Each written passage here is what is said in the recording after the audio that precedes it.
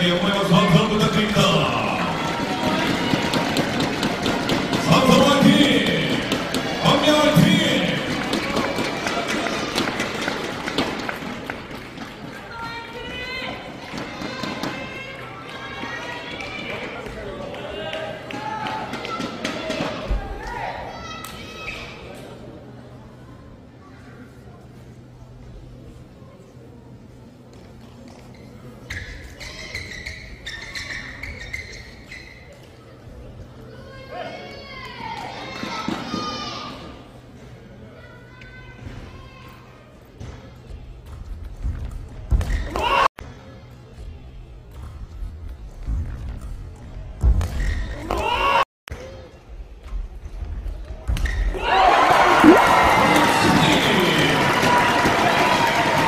번째 남자 경기는 세트스판 2대1으로 강명시 청 선수들이 승리하였습니다. 승리의 박수 한번 부탁드리겠습니다.